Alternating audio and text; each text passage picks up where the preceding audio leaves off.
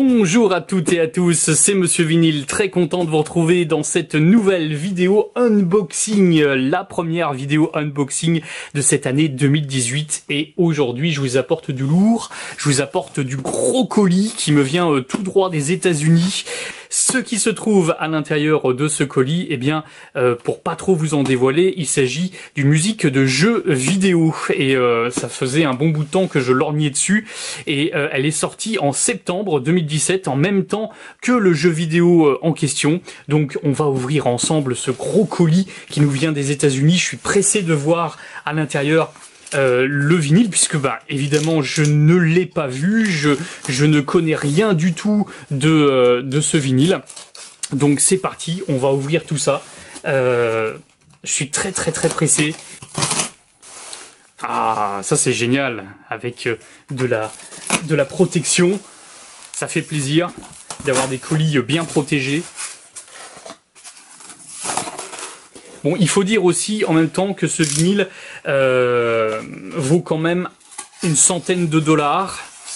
Waouh Superbe Je me demande si c'est pas le carton d'origine en fait euh, que l'expéditeur euh, a conservé, puisque il n'est pas neuf, il a été décellé celui-ci.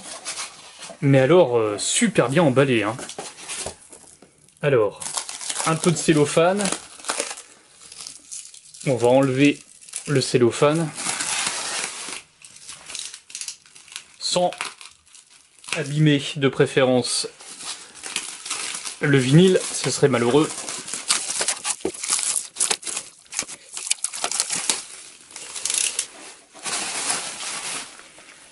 Oh il est magnifique, hein. Il est magnifique, il est vraiment super beau, une dorure là-dessus, très très joli, avec euh, une très très belle finition. C'est vraiment superbe. Oh ouais, c'est super génial. Donc à l'intérieur, en fait, on reprend un petit peu le design des années 30. Alors pour ceux qui connaissent pas le jeu vidéo, il s'agit d'un jeu vidéo qui a été créé par deux frères, deux frères canadiens euh, Chad et Jared euh, je crois que c'est ça leur euh, leur nom de, de, famille. Ils ont créé le studio MDHR et euh, eh bien ils ont développé ce petit jeu euh, dont aujourd'hui Microsoft possède eh bien l'exclusivité puisque il est sorti sur Xbox 360 ce jeu et c'est un jeu dans inscrit dans un univers de de comics, enfin de comics plutôt de dessins animés des années 30. Alors c'est juste formidable. Euh, ce côté un petit peu Tex Avery euh, mélangé à euh, Max Fleischer. c'est vraiment très très bien fait. C'est un très beau jeu vidéo et la bande originale du jeu vidéo a été composée également par un Canadien qui lui-même est membre de l'orchestre du ballet national du Canada depuis 2010, qui est un compositeur un, peu jazz. Enfin, il, fait il fait vraiment un, un, beau beau travail dans, dans cette BO puisque eh bien cette BO est composée de 3 heures de musique étalée euh, sur 4 vinyles. Et il y a 56 titres en tout dispatchés sur 4 vinyles. Euh, voilà, l'artwork est signé par un américain, Django Snow. Son travail est, est visible sur, euh, sur internet.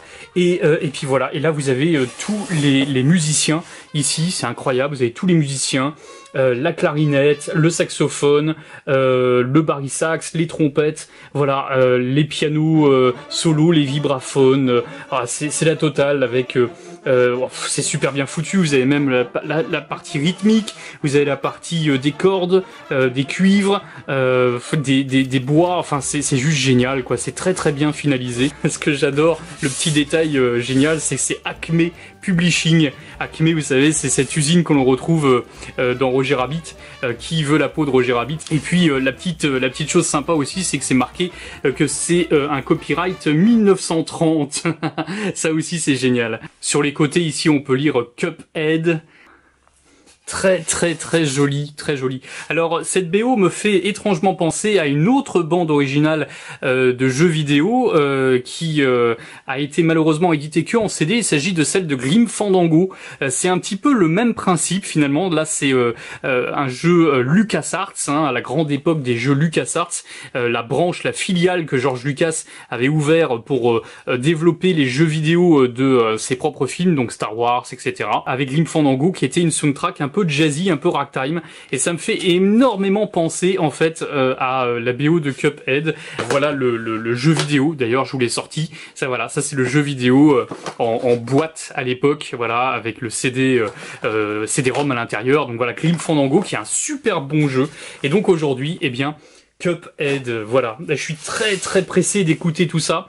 Euh, je connais déjà un petit peu la BO parce que j'avais euh, écouté euh, la version numérique et voilà, bah, je suis pas du tout déçu. Il est, très joli, il est très très beau, très bien finalisé avec donc ce, cet esprit un petit peu années 30 de type 78 tours. Ah, c'est génial. Voilà Christopher Madigan ici, le compositeur qui s'est mis euh, en photo avec euh, avec ce, ce, ce, côté un petit peu euh, old school. Et puis ça, ça provient de I Am 8 Beat, qui est un label basé aux États-Unis, à Los Angeles précisément, et qui a été créé en, en 2005. ils sont vraiment spécialisés dans les pressages de vinyle de jeux vidéo. donc ils sortent du Nintendo, etc., etc. Plein de plein de, de, de BO en vinyle de bandes originales de jeux vidéo et il distribue également euh, sur l'Europe par le biais de l'Angleterre et puis également au Japon. Voilà, donc euh, je vous invite à, visiter leur site internet im8bit.com. Voilà. Et eh ben ce sera tout pour euh, cet unboxing. je suis très content, il est très très beau ce coffret 4 vinyle de, Cuphead, super jeu vidéo en provenance des studios MDHR. Voilà, en attendant, eh bien je vous souhaite comme d'habitude un maximum de vinyle qui tourne sur vos platines et puis eh bien beaucoup de musique dans les ouilles. À très vite. Ciao ciao